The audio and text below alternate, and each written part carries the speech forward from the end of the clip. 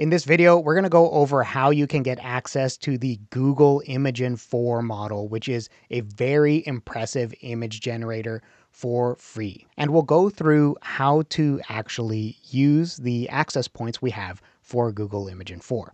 I'll also briefly show you a comparison between the ChatGPT 4o image generation model and Google Imagen 4 using the same set of prompts. But you might be thinking, well, Andre, how do I know for sure that we have the commercial rights? And we're going to get into that right now. Okay, so here we are. I've used Claude Opus 4, which is a part of the Anthropic AI ecosystem, and it has the best deep research tool. And I wanted to get a clear answer on whether or not we have commercial rights. And if you look at the report, it's cited 252 sources. There are tons of sources. Most of them are from Google, right? So let's go into the report, and it says Google Whisk AI and Google Vertex API explicitly allow commercial use. So I feel pretty confident saying that we can use Google Whisk AI, we could use Google's image generation ecosystem, and we don't have to worry about commercial rights. And I believe that the free version of ChatGPT is the same, but there's more rate limiting. So we need to think outside of ChatGPT if we want to get anything done in a reasonable amount of time. So let's slide on over to Google Whisk. Okay, so here we are in Google Whisk. This is the easiest way by far to get access to Imagen 4 for free. And it's pretty easy to create an account. All you need to do is have a Gmail account and you can sign in through there. So let's click Enter Tool and we are faced with this interface. And the way that we can get the most out of this is by clicking this thing down here, choosing square because that is the best way to get images here. And then we change this to best quality if it isn't already there. So let's go ahead and take a pre-prepared prompt here. So I dropped a large pre-prepared prompt. It's very instructive and Imagen 4 does a great job not getting overwhelmed and hitting most of the things that are available to it as far as instructions. So we we have this set at square, we have this set at best quality, and we press go. And after just five or six seconds, we've got these pretty solid outputs here. And we could favorite it, but it doesn't currently do anything. We could download it. We can right click, copy image, bring it over into Vectorizer or whatever we want to do. It's a very solid basic interface here. And the other thing that you could do is you can go to my library and you can go to projects if you're looking at different chats, or what I typically do is I just go to images. And then we have access to all of the images that we've recently generated. And the other way that we could get free access is going to Google AI Studio. And then we go over here to the left and it says generate media. You click generate media.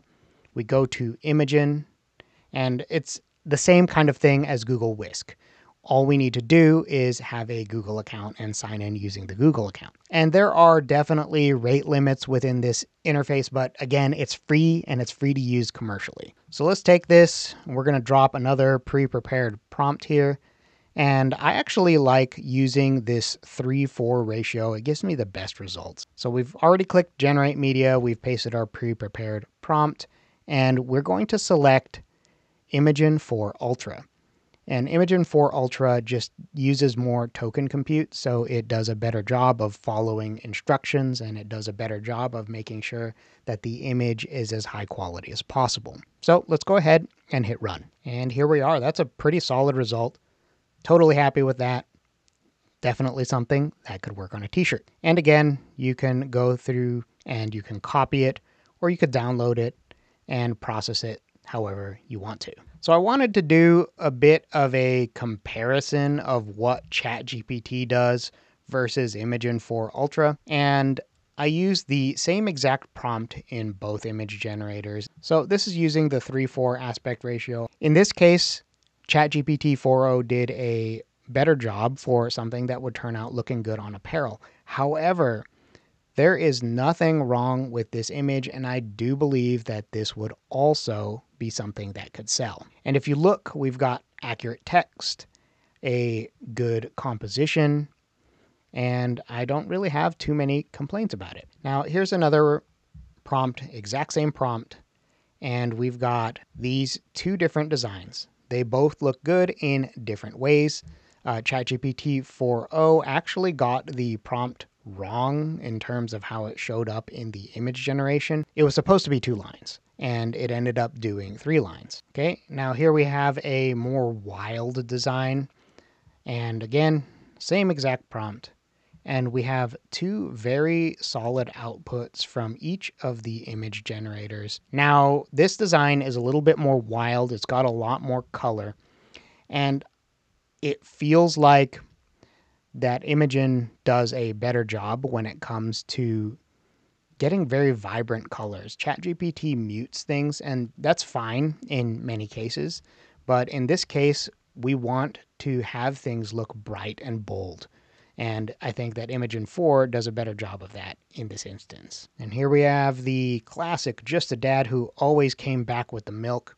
We've got ChatGPT over here, and we've got Imagen 4 Ultra over here both very solid options. And then one more over here, since Halloween is coming up soon, and we've got ChatGPT 4o and Imagen 4, both with very solid outputs. Okay, I hope you found that helpful. Uh, Google Whisk and Google AI Studio are both very useful tools that they make available to you for free. There are rate limits, but free plans always have rate limits, and you do get free commercial rights access to the images that you generate through these tools. So if you haven't checked them out, check them out. It's free after all. And Google AI Studio is also useful for using its Gemini 2.5 Pro model for a lot of the same things that you would use ChatGPT for if you're conversing with ChatGPT. So if you have budgetary concerns, then I would be bouncing between ChatGPT and Google AI Studio and using Google Whisk in order to get things launched in my print on demand business. Now, I'm sure you noticed when I did the small demonstrations that I use very long descriptive prompts. If you want to learn why or how to do that type of prompting, then I would check out this video over here. It's super compatible with Imagen 4, and it's the best way that I've found to interact with ChatGPT 4o's image generator. So if you want to learn that stuff, check it out over here, and I will see you in that video.